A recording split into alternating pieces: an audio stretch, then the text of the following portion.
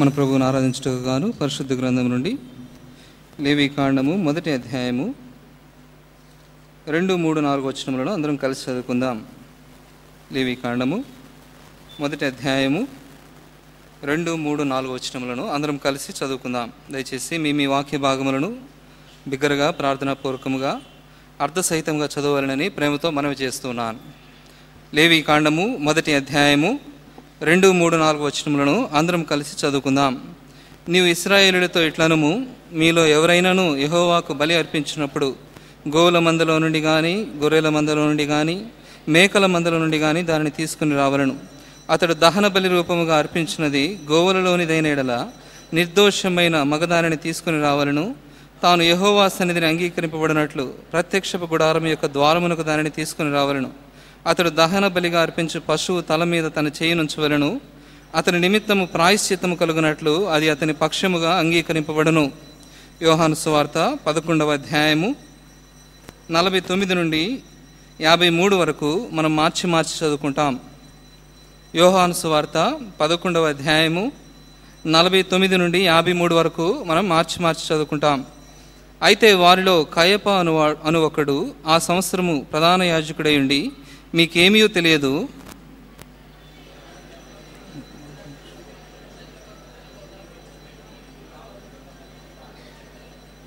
తనంతట తానే ఇలాగ చెప్పలేదు కానీ ఆ సంవత్సరము ప్రధాన యాజకుడే ఉండిన గనుక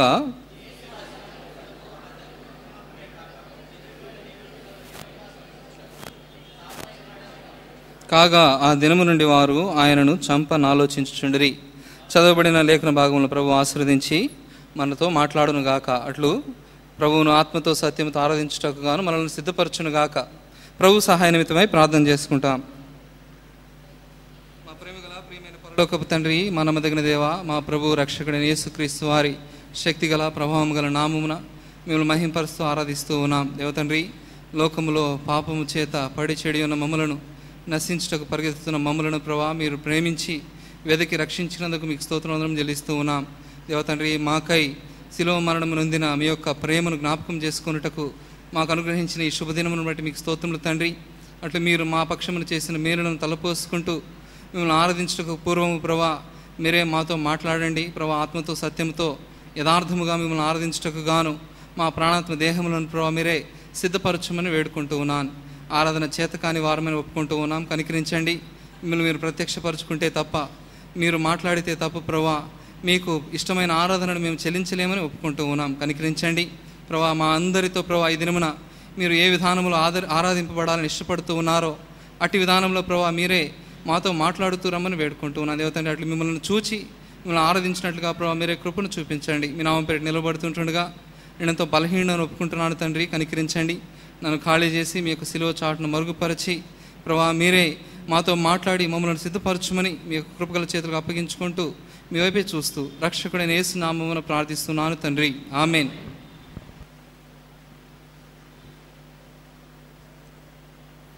మన ప్రభు యొక్క శిలువ మరణమును జ్ఞాపకం చేసుకొని ఆయనను ఆరాధించుటకు గాను మనం ఇక్కడికి చేరి వచ్చాం. కాబట్టి యోహాను సువార్త పదకొండవ అధ్యాయము నలభై తొమ్మిది నుండి మనం చదివినలాగున ఆ దినములలో కయపాను ప్రధాన యాజకుడు చెప్తున్న మాటను మనం జ్ఞాపకం చేసుకున్నట్లయితే అంటున్నాడు కదా అది మనకు మంచిది అని తాను చెప్తూ ఉన్నాడు. కదండి? చూడండి యోహాను సువార్త పదకొండవ అధ్యాయము యాభై రెండవ వచనంలో చూసినట్లయితే యేసు ఆ జనము కొరకును ఆ జనం కొరకు మాత్రమే గాక చెదిరిపోయిన దేవుని పిల్లలను ఏకముగా సమకూర్చుటకును చావనై ఉన్నాడని ప్రవచించను. తాను తెలియకుండానే చెప్తూ ఉన్నాడు. ఏమంటూ ఉన్నాడంటే యాభై వచనంలో మన జనమంతయు నశింపకుండానట్లు ఒక మనుషుడు ప్రజల కొరకు చనిపోవుట మీకు ఉపయుక్తము. ఇట్ ఈస్ బెటర్ అది చాలా మంచిది. ప్రజలందరి కొరకు మనందరి కొరకు ఒక మనుష్యుడు చనిపోవుట అది మంచిది అని ఆ యొక్క కయపను ప్రధాన యాజకుడు చెప్తూ ఉన్నాడు. కాబట్టి లోకస్తులంతా ప్రశ్నిస్తారు ఎందుకు మీ ప్రభు చనిపోయిన ఆ యొక్క దినాన్ని మీరు గుడ్ ఫ్రైడే అంటూ ఉన్నారు? మీరెందుకు సంతోషిస్తూ ఉన్నారు? అని ఆలోచించినట్లయితే ఆయన మన కొరకు చనిపోవుట అది మనకు మంచిది అని ఎరిగిన వారమై మనం ఆరాధించవలసిన వారంగా ఉంటూ ఉన్నాం. నిజమే మన పాపముల నిమిత్తము మన కొరకై ఆయన చనిపోవుట అనేది ఎంతో బాధాకరమైనప్పటికీ కూడా ఆయన చనిపోతే తప్ప మనము రక్షింపబడము మనము విమోచింపబడము అని ఎరిగిన వారమై మనం ఏం చేయాలని ప్రభు ఆలోచి ప్రభు యొక్క ఉద్దేశం అంటే ఆయనను స్తుతించాలని అది మంచిదిగా ఎంచాలని ప్రభు మనతో మాట్లాడుతూ ఉన్నాడు. కాబట్టి చూసినట్లయితే మనుషుల యొక్క స్థితిని ఎరిగిన వాడై ఎట్లా ఉన్నారంట మనుషులు? యోహాను సువార్త పదకొండవ అధ్యాయము యాభై రెండవ వచనం చూసినట్లయితే వారు చెదిరిపోయి ఉన్న వారిగా ఉన్నారు. మనుషులందరూ కూడా చెదిరిపోయిన పరిస్థితిలో ఉన్నప్పుడు వారిని తిరిగి సమకూర్చుటకు దేవుని పిల్లలుగా చేసుకున్నటకు ఆయన చనిపోయిన దినమును మనం ఈ దినమున జ్ఞాపకం చేసుకొని ఆయన చనిపోయినందుకు గాను మనం మన ప్రభువుని ఆరాధించబద్దులమై ఉంటూ ఉన్నాం. చూడండి మనుషులందరూ కూడా చెదిరిపోయి ఉన్న స్థితిని రోమిలకు రాసిన పత్రిక మూడవ అధ్యాయము పది నుంచి చదివినట్లయితే మనం ఎరిగిన వారముగా ఉంటాం. దయచేసి చదవండి. రోమిలకు రాసిన పత్రిక మూడవ అధ్యాయము పది నుంచి దయచేసి చదవండి. ఒక్కడునూ లేడు.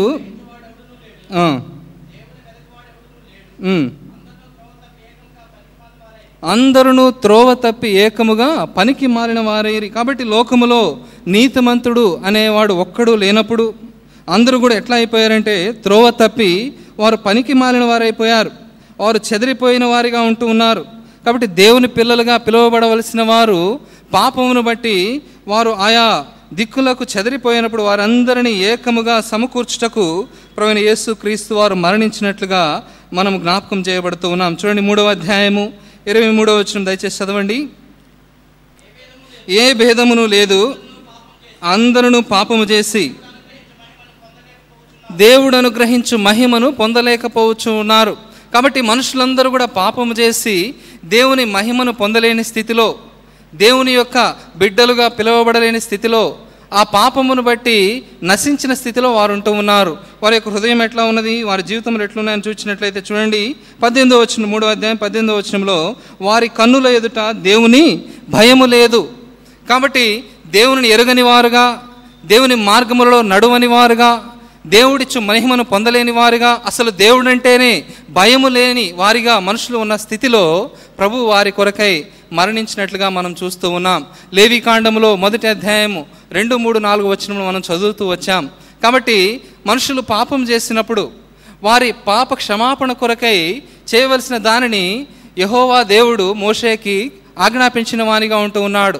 కాబట్టి మనుషుల పాపము కొరకు ఏం చేయాలంటే ఒక నిర్దోషమైన గొర్రెను కానీ ఆవులలో ఉన్న దానిని కానీ తీసుకుని వచ్చి వారు ప్రత్యక్ష గుడారపు ఆ యొక్క స్థలములో దాని మీద చేతులు ఉంచినప్పుడు అది బలి అర్పించబడినప్పుడు వారి పక్షమున అది అంగీకరింపబడుతున్నదని బైబిల్ గ్రంథం మనకు జ్ఞాపకం చేస్తూ ఉన్నది. కాబట్టి ఈ దినమున ఈ ఉదయ కాలమున మనందరి పక్షమున నీ నా కొరకు మరణించిన నీకు నాకు బదులుగా మరణించిన మన ప్రభువుని జ్ఞాపకం చేసుకుంటూ ఆయన శిలువ మరణమును జ్ఞాపకం చేసుకుంటూ మనం మన ప్రభువుని ఆరాధించనై ఉంటూ ఉన్నాం. చూడండి పాపము చేసినప్పుడు మనుషునికి విధింపవలసిన శిక్షను గురించి బైబిల్ గ్రంథము స్పష్టంగా చెప్తూ ఉన్నది. కాబట్టి ద్వితీయోపదేశ కాండములో ఈ మాటను మనం చూస్తాం. ఇరవై ఒకటవ అధ్యాయము ద్వితీయోపదేశ కాండము ఇరవై ఒకటవ అధ్యాయము ఇరవై రెండు నుంచి చదివినట్లయితే మనుషుని యొక్క పాపమును బట్టి ఏ శిక్ష విధించాలో దేవుడు బోధించాడు. ద్వితీయోపదేశ కాండము ఇరవై ఒకటవ అధ్యాయము పద్దెనిమిది నుంచి చదివితే బాగుంటుంది చదవండి. ఒకని కుమారుడు మొండివాడై తిరగబడి తండ్రి మాట కానీ తల్లి మాట కానీ వినకయుండి ఉండి అతడు వారికి విధేయుడు కాక పోయిన ఎడల అతనిని పట్టుకొని ఊరి గమిని యొద్ద కూర్చుండు పెద్దల యొద్దకు. అతని తీసుకుని వచ్చి చూడండి ఒక వ్యక్తి పాపము చేసి ఎటువంటి పాపము? అవిధేయత. తన తల్లిదండ్రుల మాట వినని అవిధేయత. వాడు తిరుగుబాటు చేసిన వాడై తాగుబోతాయి తిరుగుబాటు చేసిన వాడై ఉన్నప్పుడు వాడిని ఏం చేయాలంటే తల్లిదండ్రులు శిక్షించాలి. అది శిక్షించినప్పుడు అప్పటికి కూడా వాడు వారి మాటకి విధేయుడు కాకపోతే తల్లిదండ్రులు అతనిని పట్టుకొని ఊరి గమన యుద్ధ నుండి పెద్దల యుద్ధకు వారిని తీసుకొని రావాలి. ఎందుకని? మీరు నా కుమారుడికి బుద్ధి చెప్పండి. వాడు నా మాట వినడం లేదని చెప్పడానిక ఏమాత్రము కాదు. తల్లిదండ్రులు స్వయాన పాపము చేసిన మాట వినని తమ బిడ్డను ఊరి గవిని యుద్ధ నుండి పెద్దల యుద్ధకు తీసుకొచ్చి వారికి అప్పగిస్తే వారు బుద్ధి చెప్పడం చేయకూడదు కానీ రాళ్ళతో వానిని చావగొట్టాలి. ఇది దేవుడు బోధించిన ధర్మశాస్త్రము. చూడండి ఇరవై వచనంలో ఈ మాట ఉంటూ ఉన్నది. చదవండి దయచేసి. మా కుమారుడైన వీడు మొండివాడై తిరగబడి ఉన్నాడు. మా మాట వినక తిండిబోతును త్రాగుబోతును ఆయనని ఊరి పెద్దలతో చెప్పవలను. అప్పుడు ఊరి ప్రజలందరూ రాళ్ళతో అతన్ని చావగొట్టవలను. అట్లు ఆ చెడుతనము నీ మధ్య నుండి పరిహరించదువు. అప్పుడు ఇస్రాయేలీయులందరూ విని భయపడుదురు. కాబట్టి మరణ శిక్షకు తగిన పాపముగా ఇది ఎంచబడుతూ ఉన్నది. మాట వినకపోవుట తిరుగుబాటు చేయుట తల్లిదండ్రులు చెప్పినా కానీ వినకపోవుట అనేది మరణ శిక్షకు తగిన పాపముగా అది ఎంచబడుతూ ఉన్నది. కాబట్టి అట్లు మరణశిక్షకు తగిన పాపం చేసినప్పుడు వానిని చావుగొట్టి మానుపై వేలాడదీయాలని ఇరవై రెండో వచ్చిన చెప్పబడుతున్నాం చదవండి.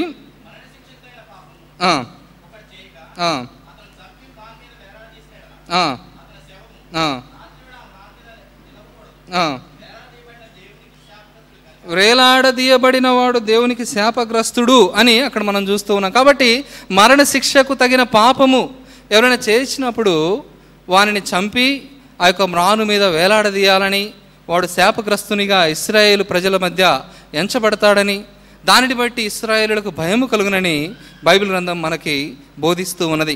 కాబట్టి ఎవరైనా సరే మాట వినని ఎడల వాడు మరణశిక్షకు పాత్రుడని మనం చూస్తూ వచ్చాం. ఈ యొక్క మాటను బట్టి ఆలోచించినట్లయితే బైబిల్ గ్రంథంలో ఇట్లా చేసిన తల్లిదండ్రులు ఎవరైనా ఉన్నారా? తమ కుమారుడు మాట వినలేదని తిరుగుబాటు చేశాడని పాపం చేశాడని చెప్పినా వినలేదని ఎవరైనా తల్లిదండ్రులు తమ కుమారుని తీసుకుని వచ్చి ఊరి పెద్దలకు అప్పగించి చావగొట్టిన వృత్తాంతాన్ని బైబిల్ గ్రంథంలో మనం ఎక్కడైనా చూస్తామా? ఎక్కడైనా ఉన్నదండి ఎక్కడైనా ఉన్నదా? ఎక్కడ మనం చూడం కదండి? ఏ తల్లిదండ్రి కూడా తమ సొంత కుమారుని పాపం చేశాడని మరణశిక్షకు అప్పగించినట్లుగా మనం బైబిల్ గ్రంథంలో చూడలేం. దావీదు యొద్దకు వచ్చినప్పుడు దావీదు కుమారుడైన అబ్షలోము తండ్రి మాట వినకుండా తండ్రికి తిరుగుబాటు చేసి తండ్రినే చంపడానికి తాను తరుముతూ ఉన్నప్పుడు దావీదు యొక్క సేనాధిపతులు యోవాబు వీరంతా కూడా అబ్షాలోముతో యుద్ధం చేసి అప్షాలోంని చంపివేస్తారు. కదండి? అప్షాలోం చనిపోయిన మాట వినిన తర్వాత దావీదు ఏం చేస్తాడు చూడండి. సమయాలు రెండవ గ్రంథము రెండవ సమయాలు పద్దెనిమిదవ అధ్యాయము ముప్పై మూడవ వచనం. రెండవ సమయాలు పద్దెనిమిదవ అధ్యాయం ముప్పై మూడవ వచ్చిన చదవండి. అప్పుడు రాజు బహుకలతపడి ఆ, ఎక్కిపోయి ఏడ్చుచు సంచరించుచు నా కుమారుడు అప్షాలోమా అని కేకలు వేయచు అయ్యో నా కుమారుడా నీకు బదులుగా నేను చనిపోయిన ఎడల ఎంత బాగుండును? నా కుమారుడా అప్షాలోమా నా కుమారుడు అప్షాలోమని ఏడ్చుచూ ఉన్నాడు. ఎవరండి? దావీదు. ఎవరు అప్షాలోము అని చూసినట్లయితే తండ్రికి ఎదురు తిరిగిన వాడు తండ్రి మాట విననివాడు పాపం చేసినవాడు ఇస్రాయల్ అందరి ఎదుట తండ్రిని అవమానపరచినవాడు అటువంటి కుమారుని విషయంలో సహితము దేవుని హృదయానుసారుడైన దావీదు చెప్తున్న మాట ఏమిటంటే నీకు బదులుగా నేను చనిపోయినడలా ఎంత బాగుండును? కదండి? ఎవరు కూడా తమ కుమారుని అప్పగించినట్లుగా మనం బైబిల్ గ్రంథంలో చూడలేం. ధర్మశాస్త్రం ఎరిగిన ఏలి అనే యాజకుని కూడా మనం చూసినప్పుడు తన కుమారులు ప్రత్యక్ష గుడారంలో పాపం చేస్తున్నప్పుడు వారిని బట్టి దేవుని అనుసరించకుండా ఇస్రాయేలు తొలగిపోయినప్పుడు సైతము ఏలి వారిని దండించలేకపోయాడు. ధర్మశాస్త్రం ఎరిగిన ఏలి సైతము తమ కుమారులను ఆ యొక్క గమని యుద్ధ నుండి పెద్దల యుద్ధకు తీసుకుని రాలేకపోయాడు. వారితో మృదువుగా మాట్లాడుతున్నట్లుగా మనం చూస్తాం. నా కుమారులారా నేను వినినది మంచిది కాదు. మీరు ఇట్లా చేయకూడదని మృదువుగా మాట్లాడాడు. కానీ ఎవరు కూడా తమ కుమారుని మరణ మరణించుటకు రాళ్ళతో చావకొట్టబడుటకు లేకపోతే ఆ మ్రాను మీద వేలాడదీయబడుటకు అప్పగించినట్లుగా మనం బైబిల్ గ్రంథంలో మనం చూడడం కారణం ఏమిటంటే ఇది దేవు ఇది దేవుడు మనుషుల హృదయంలో ఉంచిన ప్రేమ. కదండి? తమ బిడ్డల పక్షమున దేవుడు మనుషుల హృదయంలో ఉంచిన ప్రేమను బట్టి మనుషులు ఎవరు కూడా ఇది చేయలేని వారుగా ఉంటూ ఉన్నారైతే మనం ఆలోచించినప్పుడు ఆ ఆ ధర్మశాస్త్రమును ఆ యొక్క నియమమును పెట్టిన దేవుడు మనుషులందరి కొరకు ఈ యొక్క పనిని చేశాడు. కదండి? ఏ వ్యక్తి అయితే పాపం చేశాడో మనం చదువుతూ వచ్చాం కదా ఏ భేదము లేదు మనుషులందరూ పాపము చేసి ఏ భేదము లేకుండా పాపం చేసినప్పుడు నీవు నేను ఆ యొక్క గవిని యొద్దకు తీసుకురాబడి రాళ్ళతో చావగొట్టబడి ఆ యొక్క శిలువ మీద వేలాడదీయబడవలసినప్పుడు మ్రాను మీద నీవు నేను వేలాడదీయబడుతూ శాపగ్రస్తులముగా ఎంచవలసిన మనలను ప్రభు క్షమించి మనకు బదులుగా తన కుమారుని ఆ యొక్క సిలువకు అప్పగించినట్లుగా మనము గమనించవచ్చు. కాబట్టి ఇది ఎంత ప్రేమ. కాబట్టి మనుషులు దేవునిలో ఉన్న కొంత ప్రేమను పొందిన వారు మాత్రం తమ బిడ్డలను అప్పగించలేనప్పుడు ప్రేమస్వరూపి అయిన దేవుడు తన సొంత కుమారుని నీ కొరకు నా కొరకు అప్పగించాడు. ఎందుకంటే అది నీకు నాకు మంచిది. అది నీకు నాకు మేలు. అది నీకు నాకు ఉపయుక్తమైనదని ప్రభు ఎరిగిన వాడై మన అందరి కొరకు తన సొంత కుమారుని ఆ యొక్క శిలువకు అప్పగించినట్లుగా మనం ఎరుగుదుము. కాబట్టి అటు ప్రేమను జ్ఞాపకం చేసుకుని వారమై మన ప్రభువుని ఆరాధించవలసిన వారంగా ఉంటూ ఉన్నాం. కాబట్టి ఈ సమయంలో మన దేవుని యొక్క బలియాగమును జ్ఞాపకం చేసుకుంటూ మన ప్రభువుని ఆరాధించిన ఉంటూ ఉన్నాం. యశ్యా గ్రంథం యాభై మూడో అధ్యాయంలో చెప్పబడుతున్న మాట ఏమిటంటే తన కుమారుని నలుగగొట్టుటకు అతనికి ఇష్టమాయను. కదండి? తన సొంత కుమారుని తాను ప్రేమించిన కుమారుని నలుగగొట్టుటకు యహోవాకు ఇష్టమాయను ఆయనకు ఇష్టమాయను. ప్రభా ఎందుకు ఇట్లా చేసావు? ప్రభా ఎందుకు నీ సొంత కుమారుని నలుగగొట్టుటకు నీకు ఇష్టమైంది అని ఆలోచించినట్లయితే చెదిరిపోయిన నిన్ను సమకూర్చుటకు పాపములో చెడిపోయిన పడిపోయిన నిన్ను సమకూర్చుటకు నిన్ను రక్షించుటకు నీకు బదులుగా నా ప్రియకుమారు నేను అప్పగించానని మన ప్రభువు జవాబు ఇచ్చేవానిగా ఉంటున్నాడు. కాబట్టి పాపం అంత భయంకరమైనది. పాపం యొక్క శక్తి అంత తీవ్రమైనది. పాపం వలన నీవు నేను ఎంత నష్టపోయామంటే పాపం వలన నీవు నేను ఎంత లోతులో పడిపోయామంటే ప్రభువే తానే స్వయముగా నీ కొరకు నా కొరకు ప్రాణం ఇవ్వవలసి వచ్చింది చూడండి బైబిల్ గ్రంథంలో పాపం వలన నీవు నేను ఎటువంటి స్థితిలోనికి పడిపోయాం అని చూచినట్లయితే నీ పక్షమున నా పక్షమున ప్రభువు చేసిన అద్భుత కార్యం యొక్క విలువను మనం గుర్తెరిగే వారంగా ఉంటాం. చూడండి పాపము నిన్ను నన్ను ఏం చేసిందని ఆలోచించినట్లయితే అది చెరపట్టుకొని లోపరుచుకొని బందీగా చేసుకున్నదని బైబిల్ గ్రంథంలో చూస్తూ ఉన్నాం. రోమిలకు రాసిన పత్రిక ఏడవ అధ్యాయము ఇరవై మూడవ వచనం దయచేసి చదవండి. రోమిలకు రాసిన పత్రిక ఏడవ అధ్యాయం ఇరవై మూడవ వచనం. ఆ.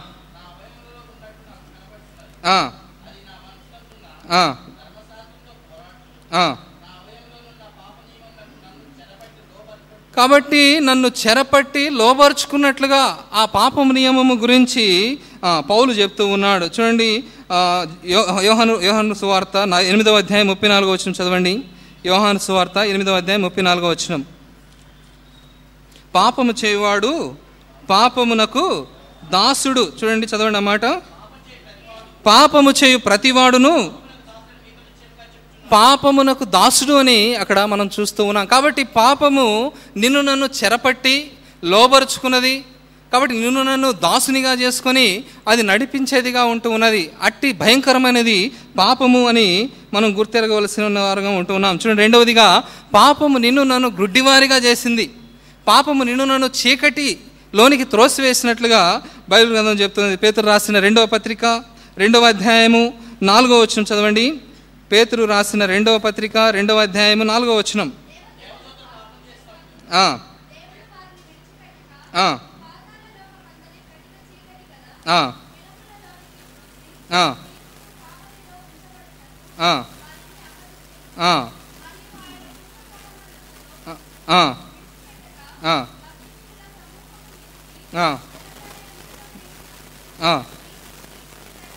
చూడండి ఇక్కడ చూసినట్లయితే పాపమును బట్టి ఆ దేవదూతలు సైతం ఎక్కడికి త్రోయబడ్డారంట చీకటిలోనికి త్రోయబడ్డారు. ఎఫ్సీలకు రాసిన పత్రిక ఐదవ అధ్యాయం ఎనిమిదవ వచనంలో పాపమును బట్టి మనుషులు చీకటి అయి ఉన్నారని చెప్పబడుతూ ఉన్నది. అంతేకాదు మనుషులు ఎక్కడ కూర్చున్నారంట? చీకటిలోనూ మరణ ఛాయ గల ప్రదేశములో వారు కూర్చున్న వారిగా ఉంటూ ఉన్నారు. దీనంతటికీ కారణం ఏమని ఆలోచించినట్లయితే పాపము అని బయలు గ్రంథం మనకి బోధిస్తూ ఉన్నది. మూడవదిగా పాపమును బట్టి మనుషులందరూ కూడా దేవునికి దూరస్తులైపోయారు కాబట్టి బైబిల్ గ్రంథం చెప్తున్నది యెషయా గ్రంథంలో రక్షింపబడ నేర్కొండున్నట్లు యహోవా హస్తము కురచ కాలేదు కానీ నీనా పాపములు దేవునికి మనకు ఏముగా ఉన్నాయంటే అడ్డముగా ఉంటూ వచ్చాయి. కాబట్టి పాపమును బట్టి మనం దేవునికి దూరస్థులమైపోయాం. దేవునితో ఎడబాటును పాపం మనకు కలగజేసినది. నాలుగవదిగా పాపం ఎంత భయంకరమైనదంటే పాపము నిన్ను నన్ను మరణములోనికి త్రోసివేసినదిగా ఉంటూ ఉన్నది. మనం ఎరిగిన మాట ఎలయనగా పాపం వలన వచ్చు జీతము మరణము. కాబట్టి మరణమునకు అది నిన్ను నన్ను త్రోసివేసినదిగా మరణమునకు పాత్రులుగా నిన్ను నన్ను చేసినదిగా ఉంటున్నది పాపము అంత భయంకరమైనది. అందుకే అపోస్తుడైన పౌలు రోమిలకు రాసిన పత్రిక ఏడవ అధ్యాయంలో అంతా చెప్తాడు కదా పాప నియమమును బట్టి నేనెంతో నష్టపోయాను. పాపము నన్ను మోసం చేసింది. పాపము నన్ను లోబరుచుకున్నది. పాపము నన్ను చంపింది. దీనిని బట్టి అయ్యో నేనెంతటి దౌర్భాగ్యుడను ఇట్టి మరణకరమగు శరీరము నుండి నన్ను ఎవరు విడిపించగలరు? కాబట్టి ఈ పాప సంబంధమైన స్థితి నుండి పాపం వలన మనం ఉండిన మరణపు స్థితిలో నుండి ఎవరు కూడా విడిపించని స్థితిలో ఉంటూ ఉన్నప్పుడు మనుషులందరి కొరకు ఒక్కడు చనిపోవుట యుక్తము అది మంచిది అని దేవుడు ఎరిగిన వాడై నీ కొరకు నా కొరకు తన సొంత కుమారుని నలుగగొట్టుటకు ఆయన ఇష్టపడినట్లుగా మనం చూస్తూ ఉన్నాం. చూడండి దేవుడు తన సొంత కుమారుని దేవుడే ఈ యొక్క లోకములకు ఎందుకు రావాల్సి వచ్చింది? ప్రభువు శిలువ వరకు ఎందుకు ఎక్కాల్సి వచ్చింది? శిలువ మరణం ఎందుకు చెందాల్సి వచ్చింది అని ఆలోచించినట్లయితే దేవునికి ఎవరూ కనపడలేదంట. ఎవరైనా నా ప్రజలను విడిపిస్తారా? ఎవరైనా నా ప్రజలను వారి పాపంలో నుండి విడిపించగలరా అని చూసినప్పుడు ఒక్కరు కూడా దేవునికి కనపడలేదు. యశా గ్రంథంలో ఆ మాటలు మనం చూస్తాం. యశా గ్రంథము చూడండి యాభై తొమ్మిదవ అధ్యాయము.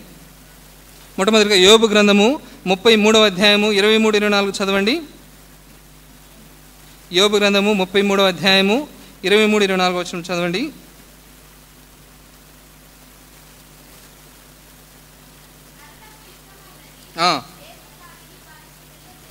ఆ. వేలాది దూతలలో ఘనుడగు ఒకడు వానికి మధ్య మధ్యవర్తి ఉండినడలా ఆ. పాతాళములోనికి దిగి వెళ్ళకుండా వానిని విడిపించును. కాబట్టి యోబు అంటూ ఉన్నాడు వేలాది దూతలలో ఘనుడగు ఒకడు మధ్యవర్తిగా ఉన్నట్లేదు ఎందుకంటే ఏ మనుషుడు కూడా దేవుని సమీపించలేడు. ఏ మనుషుల్లో కూడా పాపము లేని స్థితి లేదు. ఏ మనుష్యుడు కూడా పరిశుద్ధుడైన ఆ దేవుని యొద్దకు సమీపించలేడు. అందుకే అంటూ ఉన్నాడు దే వేలాది దూతలలో ఘనుడగు ఒకడు మాకు మధ్యవర్తిగా ఉంటే ఎవరైనా మమ్మల్ని విడిపిస్తారేమో. అయితే యోగు గ్రంథంలోనే చెప్తాడు కదా దేవుడు తన దూతలలో సైతము పాపమును చూస్తూ ఉన్నాడంట. యోగు గ్రంథము నాలుగవ అధ్యాయము పదిహేడు పద్దెనిమిది వచనములు చదవండి. యోగు గ్రంథము నాలుగవ అధ్యాయము పదిహేడు పద్దెనిమిది వచనములు. తమ్ము సృజించిన వాని సన్నిధి నవి నరులు పవిత్రులగుదురా. ఆయన తన సేవకులను నమ్ముటలేదు. తన దూతలయందు లోపమును కనుగొనుచున్నాడు.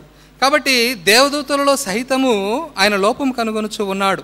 కాబట్టి ఎవరు కూడా దేవునితో సమాధానపరచడానికై దేవునితో నిన్ను నన్ను సంధి చేయడానికై ఎవరు కూడా యోగ్యులుగా కనబడడం లేదు. దేవుడు సైతం చూసినప్పుడు ఒక్కరు కూడా లేరంట. యశ్యా గ్రంథము యాభై తొమ్మిదవ అధ్యాయము పదహారో వచనం దయచేసి చదవండి. యశ్యా గ్రంథము యాభై తొమ్మిదవ అధ్యాయము పదహారో వచనం. సంరక్షకుడు లేకపోవుట ఆయన చూచెను.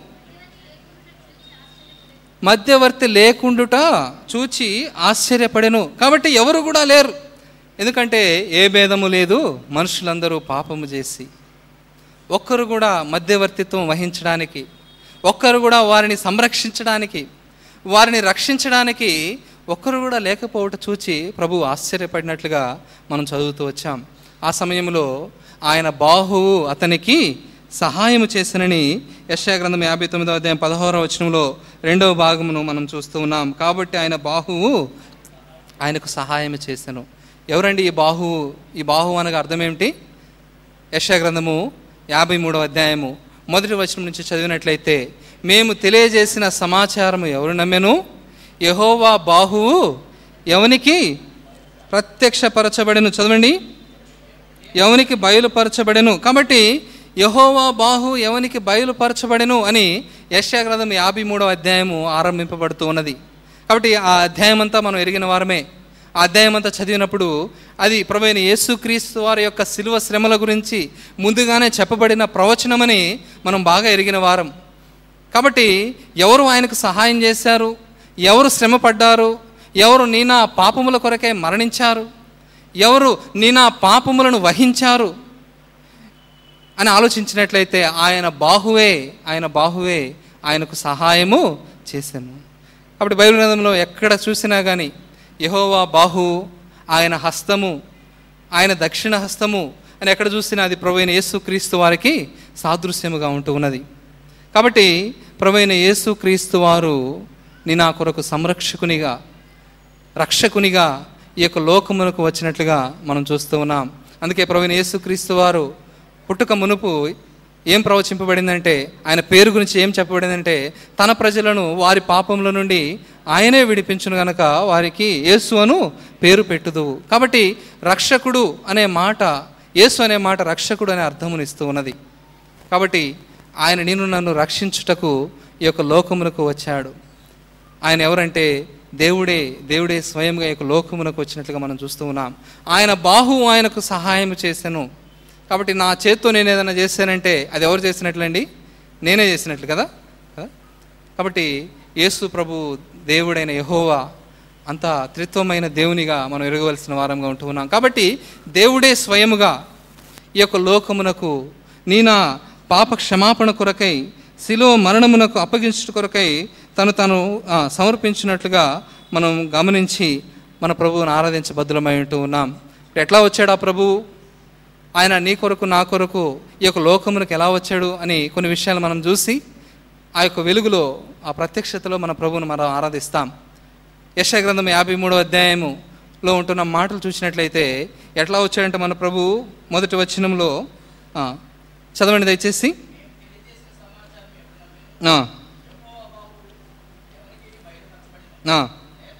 లేత మొక్కవలను ఎండిన భూమిలో మొలిచిన మొక్కవలను అతడు ఆయన ఎదుట పెరిగాను. కాబట్టి ప్రభు అయిన యేసుక్రీస్తు వారు యొక్క లోకంలోనికి ఎట్లా వచ్చాడంటే ఎండిన భూమిలో లేత మొక్క వలె యొక్క లోకానికి వచ్చాడంట. కాబట్టి ఎండిన భూమిలో లేత మొక్క ఎట్లా ఎంత కష్టంగా ఉంటుందో కదండి?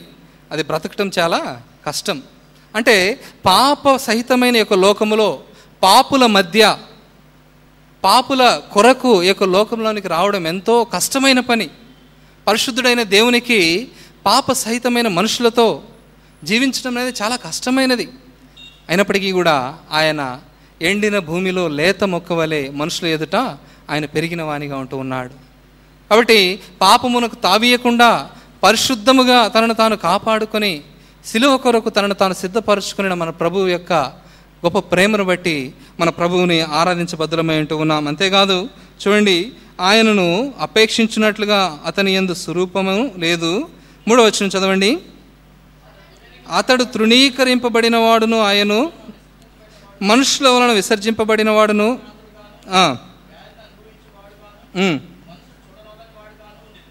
చూసినట్లయితే ఆయన తృణీకరింపబడ్డాడు. కాబట్టి మనుషుల చేత ఆయన తృణీకరింపబడ్డాడు విసర్జింపబడిన వానిగా అయ్యాడు.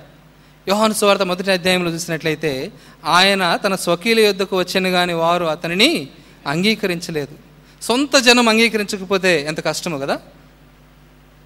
ఇంకా ఆలోచించినట్లయితే ఆయన వలన మేలు పొందిన వారు సైతము నువ్వు మా మధ్య ఉండొద్దు ప్రభా మమ్మల్ని విడిచిపెట్టి వెళ్ళు అని ఆయనను విసర్జించారు. శిలువ మరణమునకు ముందు ఆయనను గుద్దుతూ ఉన్నారు. ఆయన మీద ఉమ్మి వేస్తూ ఉన్నారు. నిన్ను ఎవరు కొట్టారో ప్రవచింపమని హేళన చేస్తూ ఉన్నారు. ఎవరు? అంటే ఆయన ద్వారా సృజింపబడిన మనుషులు ఎందుకు కొరగాని వారు?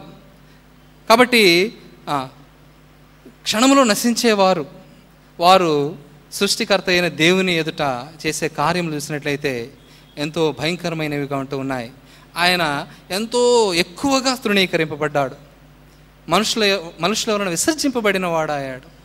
తన సొంత జనము చేత తన సొంత కుటుంబము చేత ఆయన విసర్జింపబడిన వానిగా తృణీకరింపబడిన వానిగా ఆయన ఉండుటకు ఆయన ఇష్టపడిన వానిగా ఉంటూ ఉన్నాడు. కారణం ఏమిటంటే నిన్ను నన్ను విడిపించుటకు నిన్ను నన్ను తిరిగి సమకూర్చుటకు మన ప్రభువు ఎంతో ఎంతో త్యాగమును చేసినట్లుగా మనము గుర్తెరిగి మన ప్రభువును ఆరాధించవలసిన వారముగా ఉంటూ ఉన్నాం. ఇంకా చూడండి ఆయన ఇంకా ఈ యొక్క లోకమునికి ఎట్లు వచ్చాడని చూసినట్లయితే ఆయన మధ్యవర్తిగా వచ్చాడు. మధ్యవర్తి లేకుండా చూచి ప్రభు తన సొంత కుమారుని నీ కొరకు నా కొరకు మధ్యవర్తిగా పంపినట్లుగా మనం చూస్తూ ఉన్నాం. చూడండి తిమోతికి రాసిన మొదటి పత్రిక రెండవ అధ్యాయము ఐదవ వచనం చదవండి. తిమోతికి రాసిన రెండవ పత్రిక మొదటి పత్రిక రెండవ అధ్యాయం ఐదవ వచనం. కాబట్టి దేవునికిని నరులకును మధ్యవర్తిగా ప్రభు అయిన యేసుక్రీస్తు వారు ఈ యొక్క లోకమునకు వచ్చి నీకు నాకు మధ్యవర్తిగా ఆయన ప్రభువుతో సమాధానపరిచినట్లుగా మనం చూస్తూ ఉన్నాం. అందుకే ప్రవీణ యేసు యేసుక్రీస్తు వారు చెప్తారు నేనే మార్గమును సత్యమును జీవమునై ఉన్నాను. నా ద్వారానే తప్ప తండ్రి యొద్దకు ఎవరు కూడా రాలేరు. కాబట్టి తండ్రితో మనలను సమాధానపరచడానికి మధ్యవర్తిగా ఆయనే ఒక మార్గముగా ఈ యొక్క లోకమునకు వచ్చినట్లుగా మనం గుర్తెరిగి మన ప్రభువుని ఆరాధించవలసిన వారంగా ఉంటూ ఉన్నాం. మూడవదిగా ఆయన సశరీరుడుగా ఈ యొక్క లోకానికి వచ్చాడు. కాబట్టి ఆత్మయ్య ఉన్న దేవుడు శరీరమును ధరించి శరీరంలోనికి రావడానికి ఇష్టపడిన వాడై కాబట్టి సర్వవ్యాపి అయిన దేవుడు మనుషుని రూపంలో యొక్క లోకమునకు వచ్చినట్లుగా మనం చూస్తూ ఉన్నాం. ఎందుకని ఆలోచించినట్లయితే ఆయన తన శరీరమును తెర ద్వారా దేవునికి ఒక మార్గమును ఏర్పరిచినట్లుగా మనం చూడవచ్చు. తిమోతికి రాసిన మొదటి పత్రిక మూడో అధ్యాయము పదహారవచనం ఆ.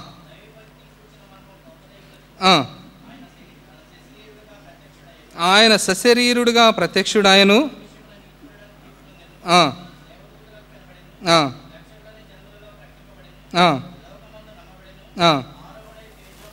కాబట్టి ఆయన సశరీరుడుగా యొక్క లోకానికి వచ్చినట్లుగా మనం చూస్తూ ఉన్నాం. హెబ్రిల్ రాసిన పత్రిక పదవ అధ్యాయము పంతొమ్మిదవ వచనంలో ఆయన తన శరీరమును తెర ద్వారా మనలను దేవునితో సమాధానపరిచినట్లుగా చూస్తూ ఉన్నాం. చదవండి ఆ మాట కూడా.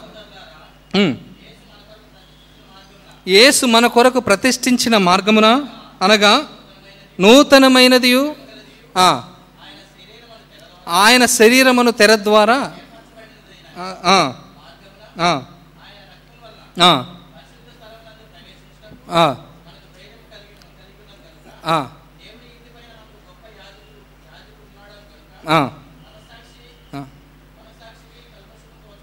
చదవండి ఆ, ఆ.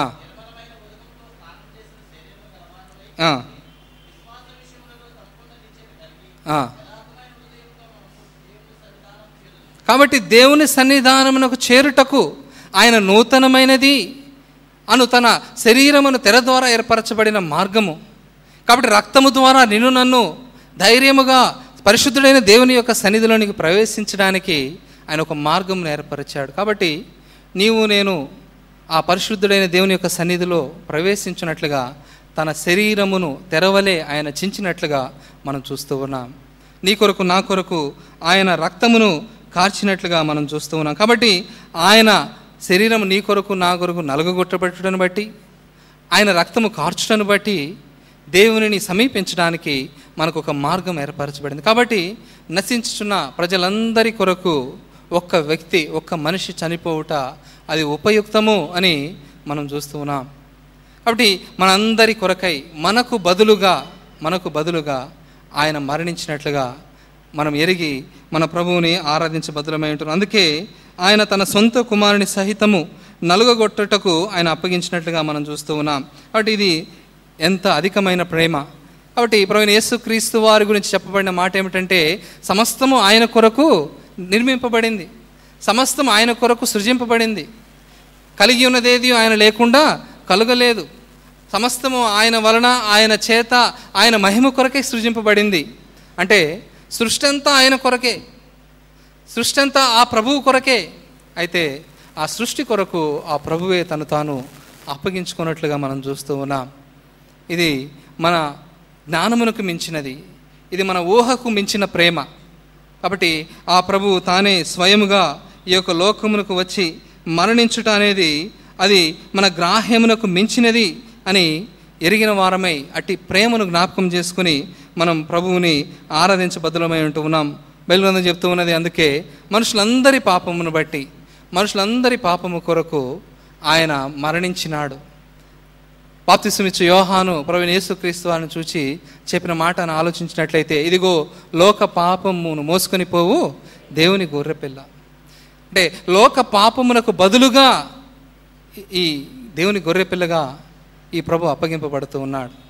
మనము కూడా ఆ లేవి కాండంలో చదువుబడిన లాగున ఆ యొక్క ప్రత్యక్ష గుడారముల ఎద్దుకు తీసుకుని రాబడిన ఆ యొక్క పశువు యొక్క తల మీద చేతులుంచిన లాగున ఆ ప్రభువు మీద ఆశ పెట్టుకున్నప్పుడు ఆ ప్రభువుని విశ్వసించినప్పుడు ప్రభా నాకు బదులుగా నీవు చనిపోయావని విశ్వాసంతో వ్యక్తపరిచినప్పుడు ఆ ప్రభు చేసిన శిలువ బలియాగము నీకు నాకు గొప్ప రక్షణను అనుగ్రహించింది. కాబట్టి మన పక్షమున లోకమంతటి పాపము పక్షమున పరిశుద్ధుడైన ఆ ప్రియుడైన ప్రవీణ యేసుక్రీస్తు వారు అంగీకరింపబడినట్లుగా మనం చూస్తూ ఉన్నాం. కాబట్టి దేవుడు నీ నా నీకు నాకు బదులుగా ఆయన మరణించాడు. నీ కొరకు నా కొరకు ఆయన మరణించినట్లుగా మనం చూస్తూ ఉన్నాం. దావిదైతే అంటున్నాడు అయ్యా నా కుమారుడు అప్షాలోమా నా కుమారుడు అప్షాలోమా నీకు బదులుగా నేను చనిపోయినడలు ఎంత బాగుండును? అన్నాడు కానీ చనిపోలేకపోయాడు కదండి? అన్నాడు కానీ చనిపోయలేకపోయాడు. యుద్ధం చేయవలసి వచ్చింది. అయితే మన ప్రియమైన ప్రభు నీ నా కొరకు తన సొంత కుమారుని ఆయన అప్పగించినట్లుగా మనం చూస్తూ ఉన్నాం. కాబట్టి ఇది ఎంత అద్భుతమైన ప్రేమ. మనం ఎవరు అని ఆలోచించినట్లయితే మనం మనలో ఏ యోగ్యత లేదు. కదండి బైబిల్ గ్రంథంలో ఎవరి కొరకు ఆయన చనిపోయాడు? మనం ఎట్లా ఉన్నప్పుడు ఆయన చనిపోయాడని చూసినట్లయితే రోమిలకు రాసిన పత్రికలో ఎంతో విపులముగా వ్రాయబడుతూ ఉన్నది. కాబట్టి మనము భక్తిహీనులమై ఉన్నప్పుడు ఆయన చనిపోయాడు. కదండి?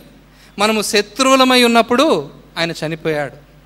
మనము అనీతిమంతులుగా ఉన్నప్పుడు ఆయన చనిపోయాడు. పాపులముగా ఉన్నప్పుడు ఆయన మన మన కొరకు చనిపోయాడు. ఇది మన ఊహకు మించిన ప్రేమ ఇది మన గ్రాహ్యమునకు మించిన ప్రేమ. కాబట్టి మనకు బదులుగా మరణించిన ఆ ప్రభువుని ప్రభు నాకు బదులుగా నీవు చనిపోయావు అని ప్రభు నేరుగా ఆరాధించవలసిన వారంగా ఉంటూ ఉన్నాం. ఈ యొక్క థియరీ ఆఫ్ సబ్స్టిట్యూషన్ అంటారు కదా ప్రతిక్షేపణ సిద్ధాంతం. నాకు బదులుగా ప్రభు మనుషుల పాపములకు ప్రతిగా ఆ యొక్క పశువు. లోకమంతా లోక లోక పాపమంతటి కొరకు ప్రవీణ యేసుక్రీస్తు వారు బలి అప్పగింపబడుట మరణించుట ఇది ఎంతో మేలు మనకి అని మనం ఎరిగిన వారమై మనం ప్రభువుని ఆరాధించిన ఆరాధించబద్దులమై ఉంటూ ఉన్నాం. ఈ యొక్క కార్యము ఆ యొక్క ప్రభువును తీర్పు తీర్చే సమయంలో మనం ఎరిగే వారంగా ఉంటాం. కాబట్టి ఆ దినాలలో ప్రసిద్ధి చెందిన ఒక ఖైదీ ఉన్నాడు కదండి? బాగా పాపులర్ అయిన ఖైదీ. ఎవరు? బరబ్బా. బరబ్బాని ప్రవీణ యేసుక్రీస్తు వారిని ఆ ప్రజలు ఎదుట పెట్టి పిలాత అడుగుతూ ఉన్నాడు నేను ఎవరిని సిలువ వేయాలి? ఎవరిని విడిపించాలి? అని కోరుకోమన్నప్పుడు ఆ ప్రజలందరూ కూడా మాకు బరబ్బానే విడుదల చేయండి. ఈ వ్యక్తిని సిలువ వేయండి. సిలువ వేయండి అని వారు కేకలు వేస్తున్నట్లుగా మనం చూస్తూ ఉన్నాం. కదా? అసలు శిక్షింపబడవలసిన వాడు అసలు సిలువకు ఎక్కబడవలసిన వాడు ఆ బరబ్బా. ఆ బరబ్బాకు బదులుగా ప్రజలు దేవునిని సిలువకు అప్పగించినట్టుగా మనం చూస్తూ ఉన్నాం. వారు ఎరుగకే చేశారు. అయితే మన పరలోకపు తండ్రి ఎరిగి ఎరిగి మనందరికీ బదులుగా తన సొంత కుమారుని ఆ యొక్క సిలువకు అప్పగించినట్లుగా మనం ఎరిగిన వారము. కాబట్టి అట్టి ప్రేమను జ్ఞాపకం చేసుకుంటూ మన ప్రభువుని ఆరాధించవలసిన వారంగా ఉంటూ ఉన్నాం. అందుకే ప్రభుని యేసుక్రీస్తు వారు చెప్పిన మాటలు ఆలోచించినట్లయితే ఇది నా శరీరము మీ మీ కొరకై విరోవబడుచున్న నా శరీరం. మీ కొరకై ఇది మీ కొరకు. ఇది నా రక్తము మీ పాప క్షమాపణ నిమిత్తమై చిందింపబడుతున్న నిబంధన రక్తము. అంతా మన కొరకే అంతా నీ కొరకే సృష్టికర్త అయిన దేవుడు సమస్తమును నీ నా కొరకు చేసినట్లుగా మనం చూస్తున్నాం. యశ్యా గ్రంథము యాభై మూడో అధ్యాయము ఐదు ఆరు ఏడు వచనములు చూడండి. యశ్యా గ్రంథము యాభై మూడో అధ్యాయము ఐదు ఆరు ఏడు వచనం చదవండి. మన అతిక్రమములను బట్టి మన అతిక్రమ క్రియలను బట్టి మన అతిక్రమ క్రియలకు బదులుగా అని చెప్పొచ్చు కదా వాటిని బట్టి. మన అతిక్రమ క్రియలకు బదులుగా ఆయన గాయపరచబడను. మన దోషములను బట్టి ఆయన నలుగగొట్టబడాను కాబట్టి నీవు నేను దోషం చేశాం నీవు నేను పాపం చేశాం నీవు నేను నలుగగొట్టబడవలసింది నీవు నేను గాయపరచబడవలసింది నీకు నాకు బదులుగా ఆయన గాయపరచబడినాడు. మన సమాధానార్థమైన శిక్ష అతని మీద పడింది. కాబట్టి నీకు నాకు బదులుగా ప్రభువు చేసిన ఆ యొక్క త్యాగమును బట్టి మన ప్రభువుని ఆరాధించబద్దులమై ఉంటూ ఉన్నాం. బైబిల్ గ్రంథంలో ప్రవీణ యేసుక్రీస్తు వారు నీకు నాకు బదులుగా ఆ సిలువుకి ఎక్క ఎక్కే సమయంలో ప్రభు ఎంత వేదన గుండా వెళుతూ వచ్చాడో ఎంత తీవ్రమైన దుఃఖములో గుండా వెళుతూ వచ్చాడో ఎంత త్యాగ సహితమైన ప్రేమను ఆయన చూపించాడో మనము బయలు గంధమంతా అది వివరించబడింది. ఒక ప్రాముఖ్యమైన కీర్తన ఇరవై రెండవ కీర్తన చూసినట్లయితే ప్రభు ఎట్లా శ్రమ పొందుతాడో ముందుగానే ప్రవచింపబడినదిగా ఉంటూ ఉన్నది. చూడండి ఇరవై రెండవ కీర్తన మొదటి వచనంలోనే ఆరంభింపబడుతున్నది నా దేవా నా దేవా నన్నేలా చేయి విడిచితివి. ఇదే మాటలు ప్రవీణ యేసుక్రీస్తు వారు ఆ శిలువలో పలికినారు. నా దేవా నా దేవా నన్నేలా చేయి విడిచితివి. ఏలి ఏలి లామా సభక్తాని ఎందుకు చేయి విడిచాడు? అని ఆలోచించినట్లయితే నీకు నాకు పాపక్షమాపణను ఇవ్వడానికి నిన్ను నన్ను పట్టుకోవడానికి తన సొంత కుమారుని చేతిని విడిచిపెట్టవలసి వచ్చింది. కాబట్టి నిన్ను నన్ను రక్షించడానికి తన సొంత కుమారుని ఆయన విడిచిపెట్టవలసి విడిచిపెట్టవలసి వచ్చింది. చూడండి ఇరవై రెండవ కీర్తన పద్నాలుగో అధ్యాయం ఇరవై రెండవ కీర్తన పద్నాలుగో వచ్చిన చదవండి దయచేసి. నేను నీళ్ళ వలె పారబోయబడి ఉన్నాను నా ఎముకలన్నీ స్థానము తప్పి ఉన్నవి